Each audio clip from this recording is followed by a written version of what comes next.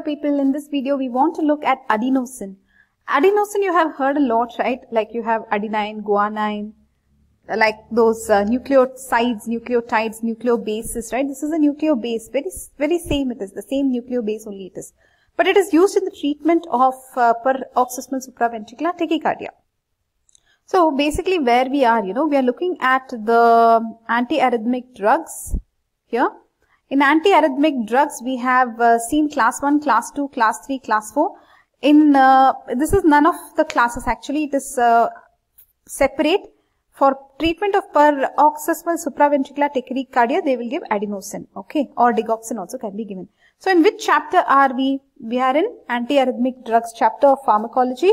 We saw what rhythm means, what arrhythm, arrhythmia means what, then uh, normal cardiac action potential, how it will be, then what are the causes for uh, arrhythmia?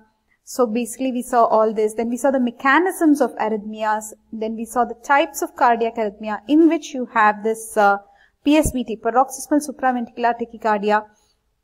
Basically this one, look at this. So if this is the heart, so here you have the ventricles, correct?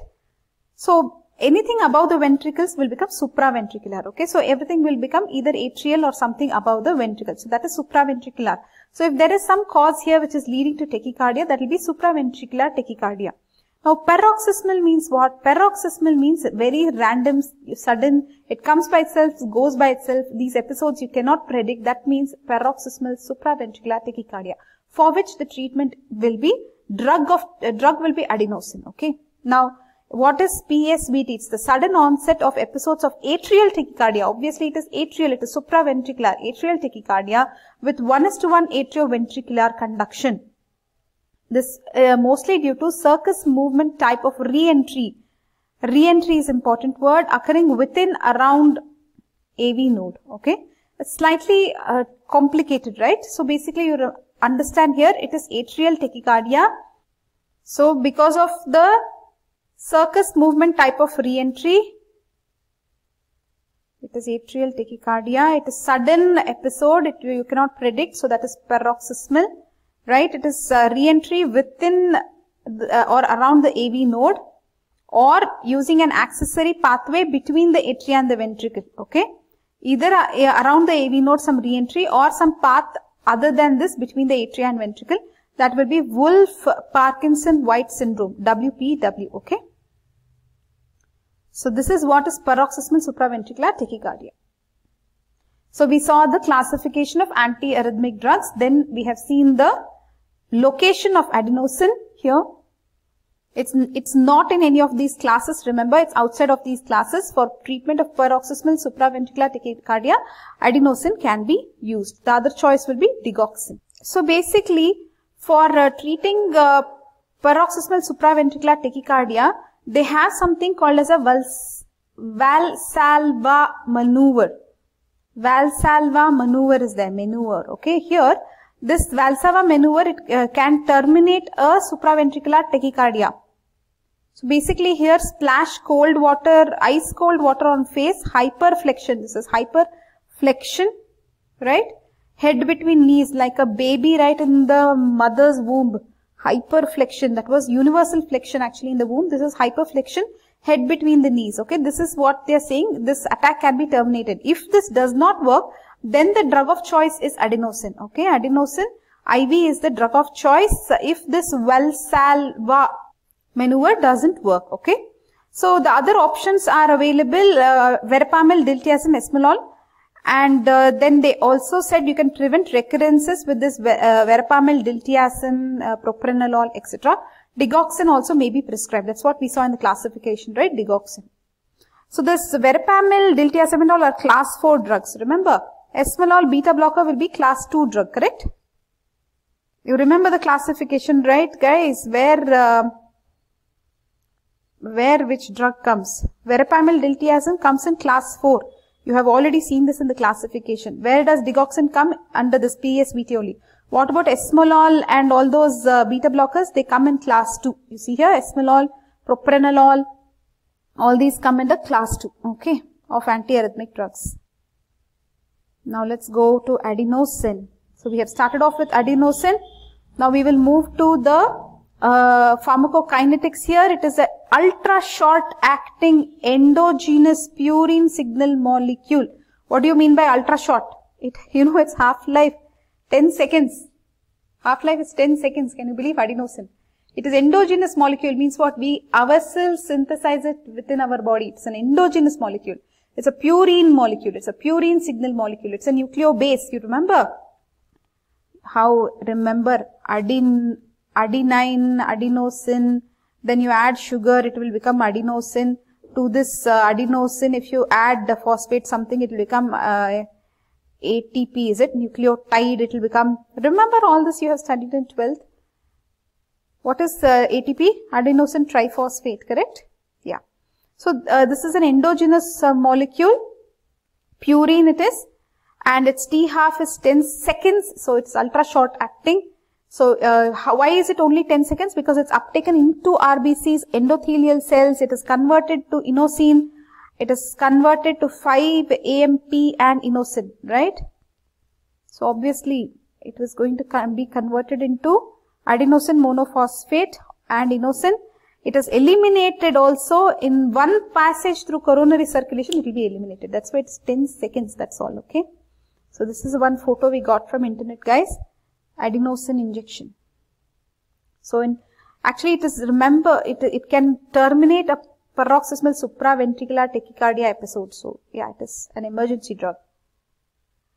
So it is how do you administer it? Rapid in, IV injection within 1 to 3 seconds tuck you should give. This is the only one probably or it's one of those rare drugs where they say you should give uh, rapid IV right? Otherwise, everywhere you have read slow IV, slow IV, remember? So this is a rapid IV injection. Within 1 to 3 seconds it can be given. Either it can be given as a free base or it can be given as a ATP, right? So you can give it as a free base or ATP. It is injected, uh, if it is injected ATP, it is converted again into adenosine only. So the paroxysmal supraventricular tachycardia episode terminates within 30 seconds. Within 30 seconds, the episode will get terminated most episodes, 90% of the episodes which are involving AV node, right, they will get uh, terminated, okay. So how much went into your head, guys? Uh, is it going into your head at all, adenosine? So what is adenosine? Let's take a quick recap. Adenosine is what? It's an endogenous purine base, correct. It's an endogenous purine base.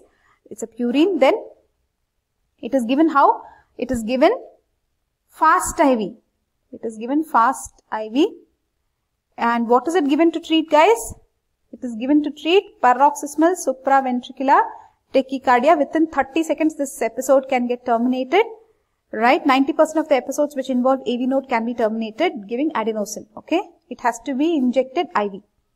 Guys, pay attention here. Now we are moving on to the mechanism of action of adenosine. See, these adenosine um, G protein coupled receptors are there on SA node fibers. Okay, what receptors are there on SA node fibers?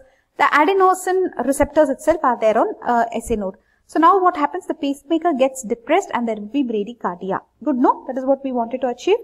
Because what was there? Tachycardia was there, right?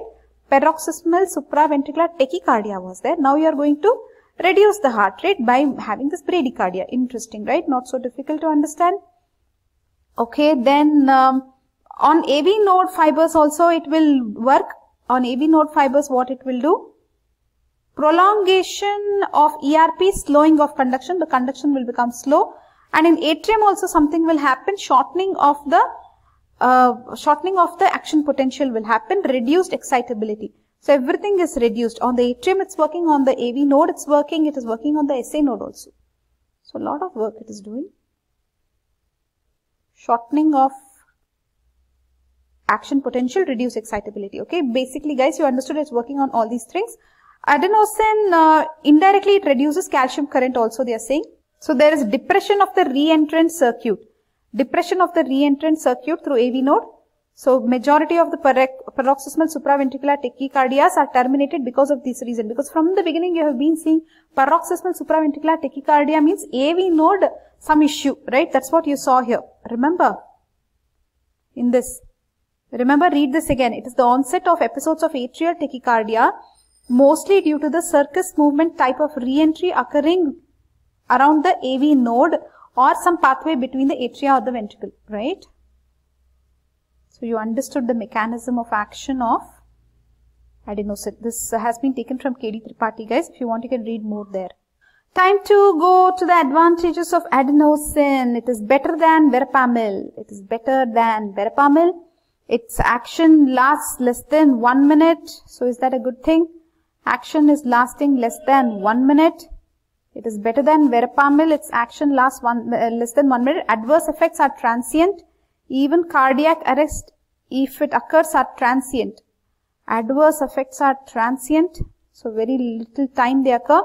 No hemodynamic deterioration.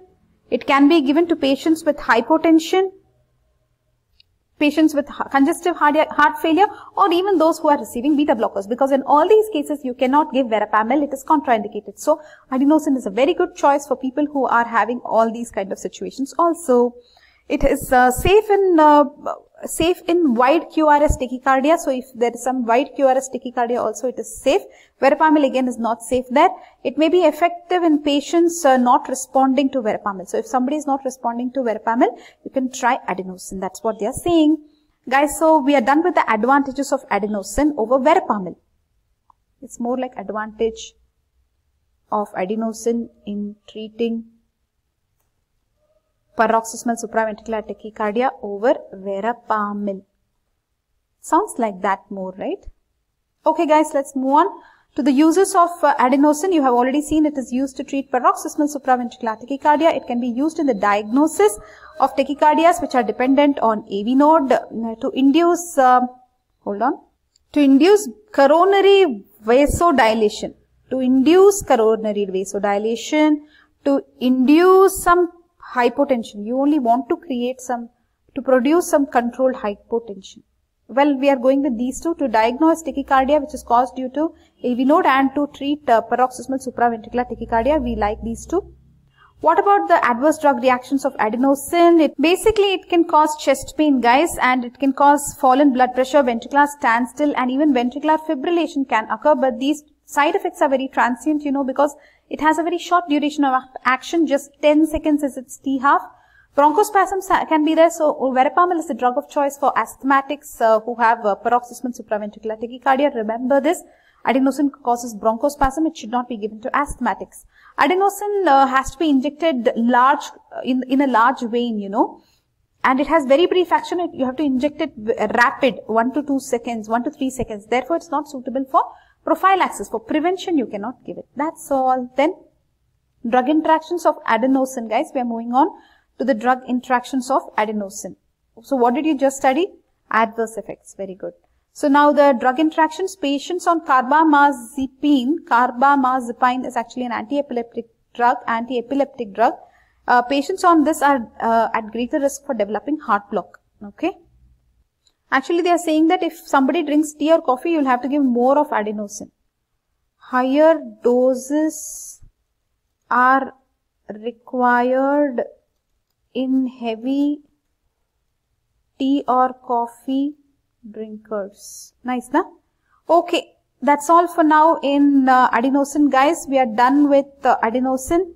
So basically, you saw it is a drug for uh, treating paroxysmal supraventricular tachycardia. Try the well Salva maneuver. If it doesn't work, the drug of choice is adenosine. But if the patient is asthmatic, verapamil is the drug of choice. Verapamil is drug of choice right here. Verapamil is drug of choice if patient is asthmatic. Okay, remember this. Then um, it is ultra short acting endogenous purine signal molecule. Its T half is just 10 seconds. It is converted into adenosine monophosphate and inosine it is eliminated within a single passage through the coronary circulation and it is uh, rapidly injected uh, either as a free base or as ATP. It terminates the episode of paroxysmal supraventricular tachycardia within 30 seconds, most of the cases at least. The mechanism of action is acts on the SA node. It act, acts on the SA node, it acts on the AV node, it also acts on the atrium, right?